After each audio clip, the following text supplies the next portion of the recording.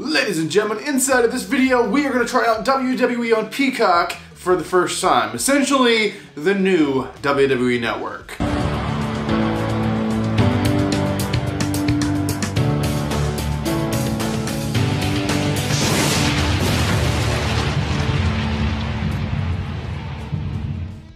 Welcome back to another video. Brandon Hodge here. I'm sorry if I don't seem like myself. I'm trying my best to seem like myself today, but uh, I just had my, my vaccine thing yesterday, and I'm very, very tired today. I had it yesterday. Didn't really feel it yesterday. Today, I'm quite tired for some reason. Uh, but uh, anyway, we're gonna try to get around that. So uh, this was a, a send in a, a request, I guess, a fan request for a video. So a lot of you actually asked hey Brandon, can you go through the process of setting up the WWE Network on Peacock and show how it works and all that stuff because we're just freaking confused. Uh, so WWE uh, uh, said at one point that uh, your, auto, uh, your, your your information will automatically be transferred. So I guess try to log in with your WWE Network information if you want to do it that way. But personally, I just canceled the WWE Network and signed up to this service.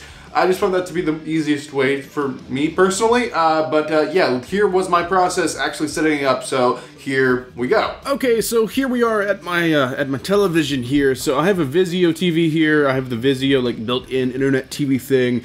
Uh, and actually has the Peacock app actually built into this. Now, first up, I want to apologize for how bad my TV looks. I like being recorded like this. I'm not entirely sure why it looks so bad.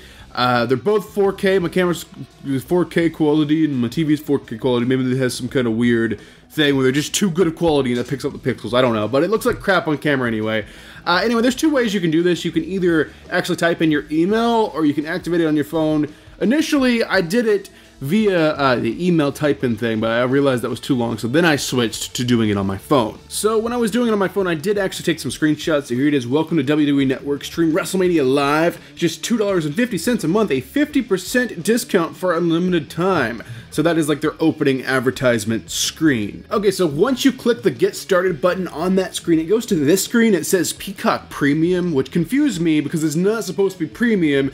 And then it's supposed to be $2.50 a month, and this says it's $10. And I get so, so confused, and then I start reading the fine print, and it says you actually get four months for $9.99, which comes out to $2.50 a month. So they kind of lie on the opening screen it's you have to prepay for four months and it's 250 a month on the prepay, but you're paying $10 this month for the next four months. So it's very, very weird. Something that was nice to see is you can actually pay by PayPal, which is good because you don't have to enter your long card number just to get something like this. Can just click the PayPal button and be done with it. Then once I finish paying by PayPal, it says, you've got Peacock Premium. And then I'm like, what in the hell are you talking about? Peacock Premium's eleven dollars per month. I signed up for the for the one I had to prepay for four months, and it evens out to two dollars and fifty cents for for per month or whatever. Why do I have premium? Why are you saying premium? Anyway, we'll see if I have premium if when I log in if I have ads or not. Anyway, we go to Peacock, this this website, whatever. We go to the Peacock website, we enter the code for the TV,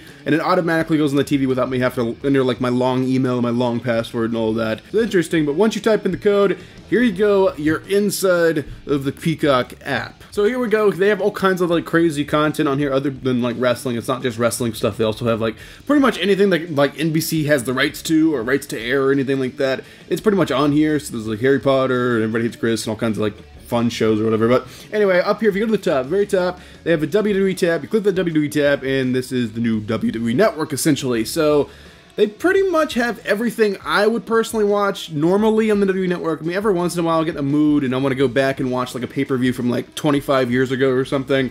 Uh, and they don't really have too much of that right now. They have like 18,000 things they're still trying to upload. Uh, but they do have every WrestleMania, it looks like. So I guess they started with WrestleMania, so that's good. Uh, so yeah, uh, but they do have all kinds of stuff on here, and let's actually try to play something and see how that works, even though I can't really show it for copyright reasons. Let's go ahead and do like SmackDown. Like they have no recent episodes of SmackDown. The most recent one's from February. Yeah, so right now it's doing a murder mystery advertisement. Not exactly PG for the WWE PG people. So it took me a while to figure out what the, all these little like dots are. Originally I thought these little dots you could like skip towards and it would be like matches and stuff. Then I'm like, well, they're kind of oddly spaced. And then I realized these little dots are actually advertisements. So I did not get Peacock Premium even though it told me I did for some odd reason. Uh, those are the advertisements. It really, really sucks how they don't have like more recent stuff on here, but with like NBC owning Peacock, maybe they can put Raw live on here. I don't see really an issue with that. I don't guess. I mean, uh, that would be really, really cool. I know Fox and NBC are like rivals, so they're not going to have their content on here. But they do have a quite a big selection already, and they still have like 18,000 more things to add.